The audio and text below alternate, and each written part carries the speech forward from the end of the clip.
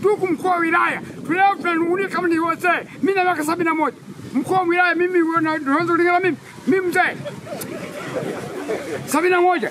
Je, mkuu wa wilaya nasema uongo?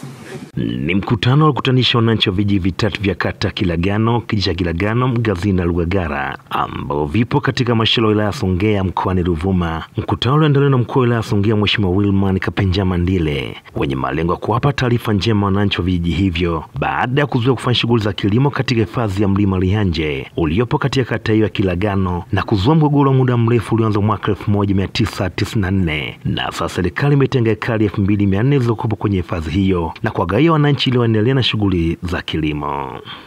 Nataka mjue kwamba serikali imesharidhia mpate jumla ya ekari elfu mbili mia nne na sabini na nne kutoka kwenye hifadhi. Baada ya hapo, wiki hii hawa mabwana na mtendaji wa kijiji nataka wabandike majina kwamba bwana waathirika ukanda wa Rugagara ni hawa hapa, mchapishe majina yao yabandikwe, watu wayasome kwamba hawa ndio walioathirika, walikuwa nalima kule na sasa wanakwenda kugawiwa ma, maeneo mapya. Kwa mtayasoma majina, hapana kufanya siri. Mbona huyu ana jina kama la Mbeya, utafikiri jina la mdogo wake na mkuu wa wilaya. Hakuna cha mkuu wa wilaya wala cha nani hapa. Wanaostahili kupata kipande cha ardhi hapa ni, waz, ni wale waliokuwa wakazi wa kijiji hiki na wameguswa na fukuzwa fukuza kutoka kule mlimani.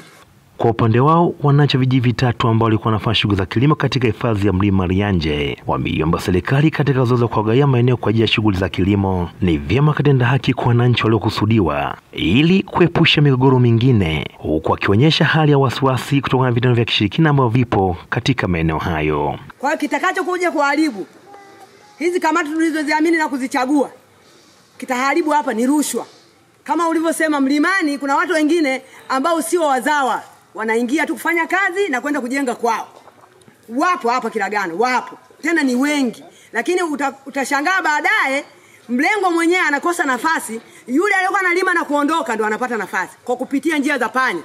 Mheshimiwa, kama kweli umesema kuna usalama wa taifa, kuna TAKUKURU, tunaomba wafike kweli. Kuna watu wamezaliwa kule, ina maana umri wa mimi ni umri wa maisha ya kule. Sasa anakuambia bwana, sehemu hii kugawa, kugawa mtu lazima atoke na kuna mbinu zingine, achana na za serikali na changamoto nyingine. Nadhani mheshimiwa, unanielewa ninavyozungumza hivi. Kuna matishio ya aina hiyo Lugagala, kuna matishio ya aina hiyo Mgazini, hata hapa Kilagano pia yapo. Kamati hii inaweza isilale usingizi. Sasa mheshimiwa, kwenye eneo hili pia utatusaidiaje? Kutoka Songea mkoani Ruvuma, Newton Endenda.